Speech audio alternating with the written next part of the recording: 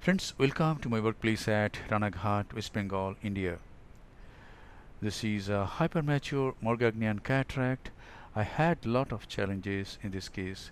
Let us observe this surgery. This is the main incision with a 2.8 millimeter steel keratome. This is a side port on the left side of the main incision. The anterior capsule is stained underneath an air bubble. The dye is washed out. The antechamber is filled up with 2% HPMC. HPMC is applied over the corneal epithelium. And now see what happens as I try to do rhexis. As soon as the anterior capsule is punctured, milky fluid comes out. The milky fluid is aspirated with 23G Simcoe. Visco is again injected, the chamber is filled up. And now I take a Utrata forceps and try to do rhexis. Let's see what happens. As I go near 6 o'clock, suddenly the rhexis goes to periphery. The rhexis runs out. As I try to retrieve the rhexis, there is tendency of the zonule to give in.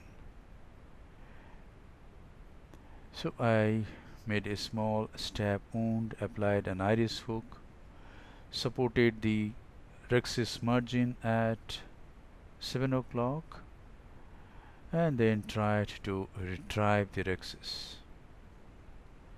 After several attempts I could hold the rex capsule and as I try to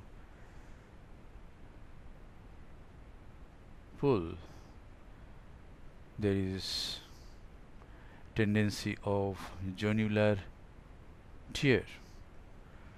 So I make another incision at 7 o'clock use a Vannas scissor cut this capsule anteriorly and now I try to to complete the rhexis I use this Y-shaped instrument to support the anterior capsular rim and pull the capsule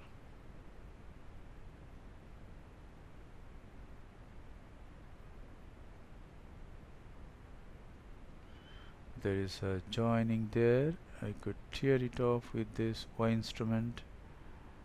And now as I pull it find that the zonule is very weak. However with some support I could complete the rhexis superiorly. So there is a weak area from 4 o'clock to 7 o'clock almost 3 clock hours. So I inject um, CTR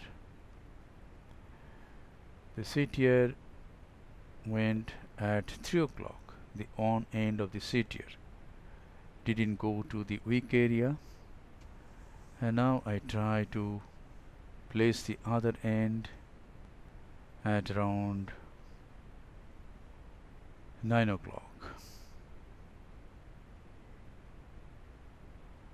So th the two ends are superiorly placed. And here goes the CTR in the capsular bag. Now as the capsular bag is supported I push the lens uh, push the nucleus inferiorly inject some visco both behind and in front. Enlarge the main wound little bit and inject a single piece monofocal intraocular lens in the back.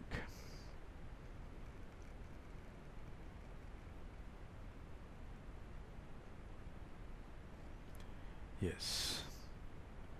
One haptic has gone in the capsular bag the leading haptic we cannot see but hopefully it will go in the capsular bag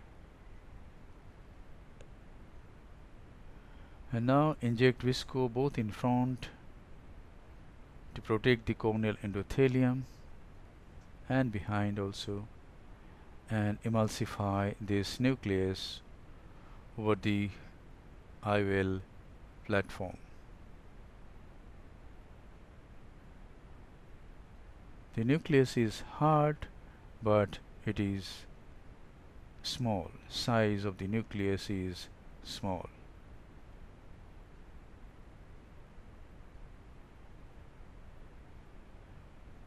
Now after emulsifying the nucleus I didn't come out just like that.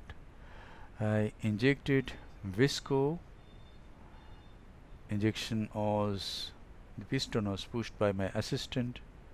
I just hold the anterior part of the syringe. And then I remove the nuclear bits with Simcoe. There is no cortex to be removed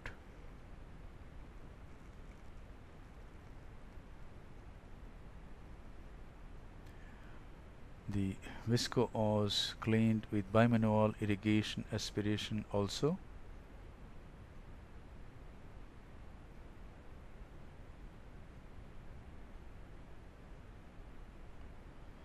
And the case looks fine. There is no vitreous in the anterior chamber. The